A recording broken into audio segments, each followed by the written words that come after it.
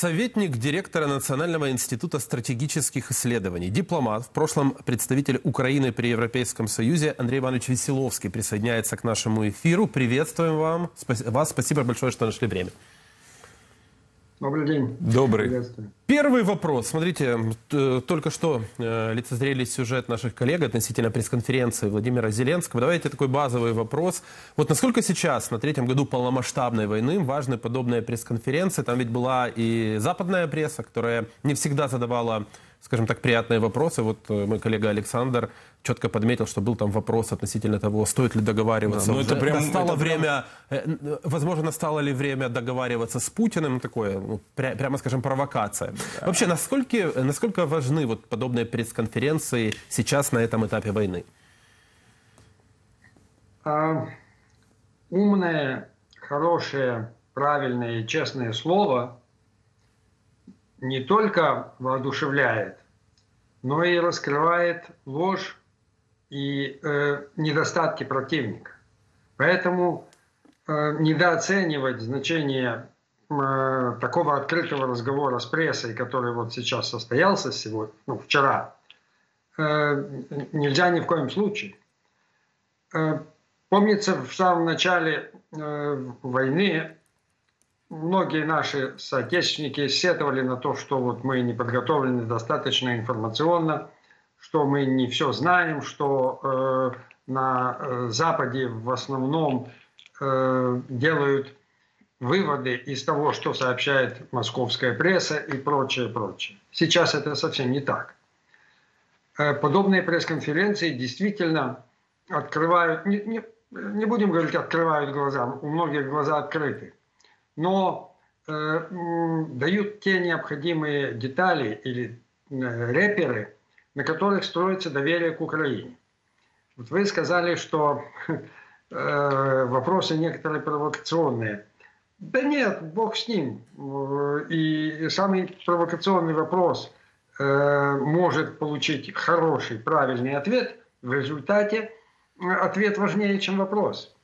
И ведь э, те ответы, которые давал сегодня президент, они действительно, э, я не хочу сказать, успокаивали, они, э, они доказывали э, слушателям, читателям, всему миру, Западу, Востоку, кому угодно, что мы прекрасно осознаем, в каком положении мы находимся. Мы знаем, как из этого трудного положения мы выйдем.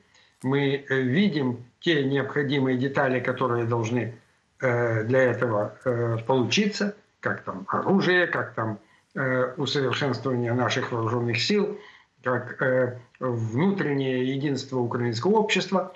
И все это рассказано честно, ясно, просто, без издевок, без, без глупости, без, без бахвальства. Поэтому я э, очень рад, что такая пресс-конференция получилась, что эти, она, так сказать, отметает вот какое-то такое, знаете, определенное, эм, ну, что ли, неуверенность, которая появилась в последнее время на Западе, вот что, что там в Украине, вот как они, вот два года а они еще не выиграли, а вот у них такие большие потери. Кстати, о потерях. Это честно, что мы назвали. Это ужасное большое число, но это э, э необходимо, чтобы знало наше общество и чтобы это знало мировое общество. Таким образом, я к штыку приравняю перо, когда-то говорил поэт. Вот в данном случае перо не просто приравнено, оно э, не слабее штыка. Андрей Иванович, вот в том числе э, Зеленского спросили, э, да, не пришло ли время поговорить с Путиным. А, это был вопрос от журналиста ABC, если не ошибаюсь, американская медиа. Э, на что, конечно, Зеленский сказал, как бы о чем разговаривать, да, то есть э, есть площадка определенная, которая создается украинским государством, на которой Путин может признать, что да, э, идея с войной была неудачна, ну и дальше следует, да, мы уже этот мирный план не раз обсуждали, выплата репараций, признание поражение, вывод э, войск на границе 1991 года. А, но Владимир Зеленский ответил, что Путин видит себя до 2030 года железно, да, и он это все время этот месседж не скрывает на своих выступлениях. Вот что вы думаете все-таки о каких-то дальнейших площадках. Вообще, стоит ли о них говорить и реально ли, чтобы они появлялись в ближайшее время? Или, или сейчас э, речь идет только о поле боя э, и так далее? Вот объясните эти детали. Я считаю, что э, говорить сейчас о каких-то площадках переговорных не имеет смысла по той простой причине, что мы не имеем собеседника. Мы имеем врага, который на всех Э, во всех возможных случаях, на всех, как говорят, площадках, выступает и сам, и его э, придворные, типа Лаврова или типа Медведева и, и прочих, э, выступает только с одним требованием уничтожения Украины. Э, он э, говорит об этом неприкрыто. Мы должны произвести там все эти де, де, денацификации и прочее, ля-ля. Не будем э, употреблять этот дурацкий лексикон. Но прав президент Зеленский в том, что он говорит, о чем разговаривать с этим, э, с этой э, конторой. Он даже не называл этого человека по имени и правильно сделал. Э, другой вопрос, надо ли иметь каналы связи. Естественно, их надо иметь. Во-первых, для того, чтобы э, лучше чувствовать страх и неуверенность врага, это неплохо. Во-вторых, для того, чтобы продолжать обмен нашими военнопленными, э, и для того, чтобы э, помогать семьям тех, кто э, незаконно захвачен и находится в плену у Российской Федерации, чтобы они верили и знали, что мы э, этим занимаемся. Это можно делать непосредственно, как это делают наши соответствующие органы, э, Главное управление разведки, э, СБУ, но это можно делать также и через посредников. И такие посредники есть. Есть страны, с которыми вынужденно разговаривает Кремль, и эти страны с удовольствием помогают нам в э, принятии вот тех или понимании тех или иных процессов, которые сейчас в Российской Федерации, а также о том, э, о чем я уже сказал, э, об освобождении наших заложников, наших детей. Мы знаем эти страны, это и та же Турция, и тот же Катар, и Саудовская Аравия. Не будем называть другие, они тоже есть, пусть они остаются в тени. Андрей Иванович, можно уточню? Э, Андрей, Андрей Иванович, позвольте уточню, чтобы динамика разговора сохранялась. Вот э, Андрей Ермак сказал, что в Швейцарии пройдет саммит мира, и об этом говорили еще во время визита Зеленского в Берн 15 э, января, если я не ошибаюсь. 160 стран пригласят, России пока не ожидается на этом этапе. Это может быть той площадкой, вот, о которой мы говорим, через которую ведется основной канал коммуникаций о позиции Украины? А российская сторона уже э, четко и жестко сказала, что Швейцария является недружественным государством, и поэтому Швейцария не может быть никаким в данном случае э, переговорщиком. Ну, для них, Я слушайте, назвал... для них Беларусь может быть, наверное, там Венесуэла, Иран, ну, понятно? Беларусь не может быть для них, потому что Беларусь для них ничто. А вот у них э, есть э, э контакты с некоторыми странами, которые для них важны я бы сказал, даже жизненно важны. Я не случайно первым назвал Турцию. Турция жизненно важна для Российской Федерации в сегодняшний день. А, и э, с точки зрения, так сказать, какого-то окна, якобы вот э, э, э, российские граждане могут туда ездить отдыхать, но и с точки зрения э, получения э, каких-то более важных вещей от Турции, а именно – это какие-то материалы, какие-то механизмы, какие-то новейшие э, устройства, которые э, правдами и неправдами приходят через третьи страны в Российской Федерации и употребляются для устройства их оружия. То есть все эти чипы, ну, микросхемы и прочее, это как-то должно попадать в Россию, которая ничего этого делать не умеет. Э, а раз не умеет, значит, откуда-то должна украсть. Значит, маленькая, маленький Азербайджан или маленькая Армения уже перестали этим заниматься. Дают по рукам. Ну, э, говорят, что в Турция еще занимается. Но со дня на день все это закрывается. То есть вот эти страны, которые, на, э, на которых Россия издавна надеялась, возможно, и Китай, э, они являются тем каналом, который может действительно использовать Россия, когда она захочет ну, извините, сдаваться. Когда она поймет, что э, преступлениям пора по, по, э, конец и пора убираться с нашей территории. Это произойдет. Другой, ну, не в Швейцарии, но, собственно говоря, и хорошо, что не в Швейцарии нечего делать э, российским негодяям в Швейцарии, российским переговорщикам в Швейцарии нечего делать. Там слишком хорошо для них. Надо что-нибудь поплоше. Андрей Иванович, теперь давайте перенесемся на Елисейские поля. Тут довольно любопытная информация появилась. Сегодня около 20 европейских лидеров соберутся в Париже, чтобы отправить президенту России Владимиру Путину послание о европейской решимости в отношении Украины. Процитирую э, одного из советников президента Макрона. «Мы хотим послать Путину очень четкий сигнал, что он не победит Украину. Наша цель – разбить эту идею, которую он хочет, чтобы мы, поверили, что он каким-то образом сможет победить. Андрей Иванович, как вы думаете, вообще вот подобные послания, подобные встречи, которые произойдут э, в Париже, насколько это эффективный механизм. Ведь Россия, по сути, насколько мы понимаем и знаем, она воспринимает лишь язык силы. А эффективный механизм был продемонстрирован э, в виде присутствия Урсулы фон дер Ляйен, премьера э, Бельгии, э, премьер-министра Италии, и э, четвертый, кто Канады. там был. Трюдо.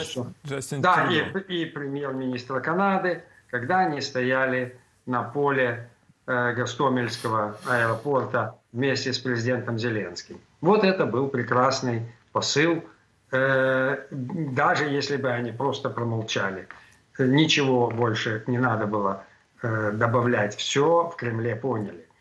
Э, президент Макрон по внутренним причинам, по причинам внутриполитическим во Франции, не смог прибыть в Гастомель.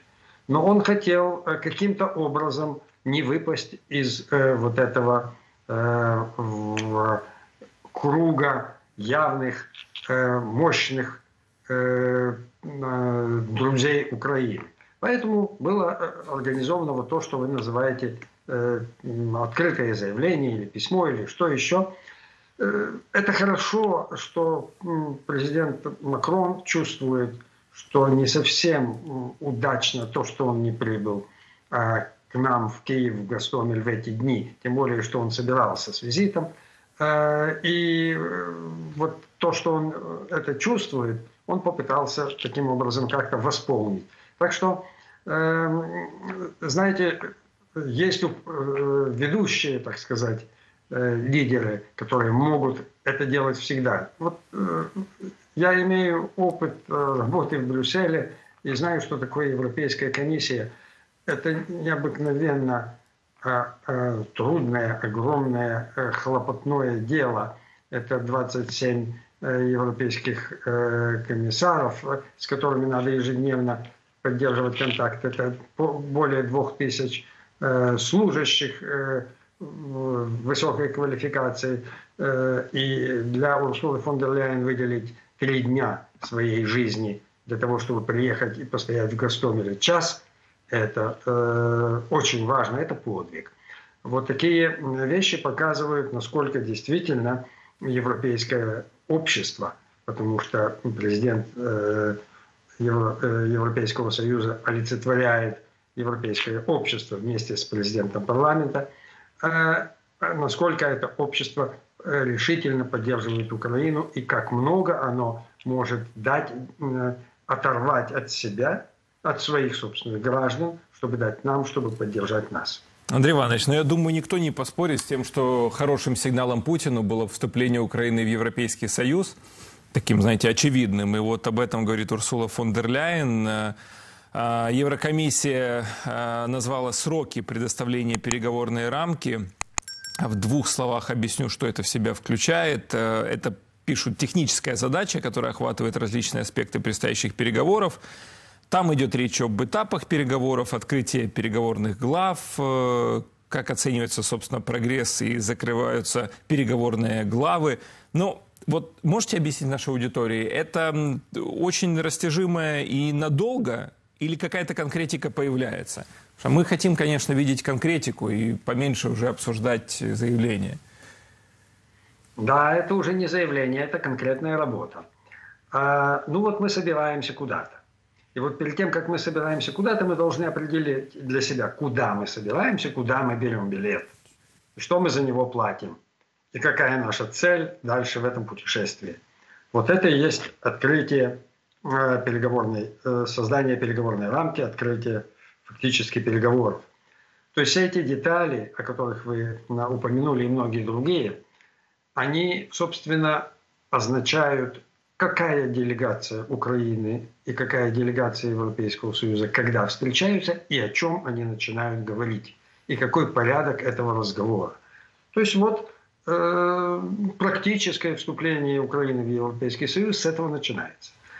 Относительно того, как это будет долго, как это будет э, продвигаться, это уже другой совсем вопрос. Это вопрос готовности нашего реального общества во всем его многообразии и экономика, и политика, и социальные отношения и так далее, э, к э, готовности его к принятию законодательства Европейского Союза и воплощению его в жизнь. Но вот то, что сегодня, то есть вчера, было определено, что эти переговоры начинаются в марте, это большая и очень серьезная победа. Общая победа, я бы сказал, и Брюсселя, и Киева. Потому что были сомнения – сумеет ли в этой ситуации украинская сторона сформировать полноценную делегацию, которая будет готова к этой работе. Э, сумеет ли Европейский Союз сейчас, а там выборы через 4 месяца, да. А, сумеет ли Европейский Союз сейчас собраться с этим, э, э, с, этим же, с этой же задачей, создать полноценную делегацию и дать ей соответствующие указания, как и что вести. То есть оказалось, что возможно. Еще несколько дней тому назад в Европейской комиссии были сомнения. И в одном из своих интервью Урсула фон дер Ляйен э, сказала, что ну, мы не знаем, возможно, это будет летом. И тут в Киеве она сообщает, что это будет именно в марте. Это большая победа. Это значит, что мы начинаем этот разговор в марте. Это значит, что до э, будущих европейских выборов, которые будут в июне, они уже будут вестись. И новый парламент европейский, и новая Европейская комиссия будет продолжать это дело, а не будет решать, э, когда открывать, что открывать и так далее. Мы впрыгнули в вагон, который мы пропускали много-много лет назад, много-много раз. Сейчас мы в поезде. То есть в марте мы будем в этом поезде. Андрей, вам спасибо вам большое. Спасибо громадное, что прояснили. Это очень важно. Мы, как всегда, были очень э, рады вашему экспертному анализу. Советник директора Национального института стратегических исследований, дипломат, в прошлом представитель Украины при Европейском Союзе Андрей Веселовский присоединялся к эфиру телеканала Freedom. Это и другие видео вы можете посмотреть в удобное время на нашем YouTube-канале Freedom. Подпишитесь. У нас только самые авторитетные эксперты. Вся правда о войне России против Украины. Поверьте, этого никогда не покажут федеральные телеканалы.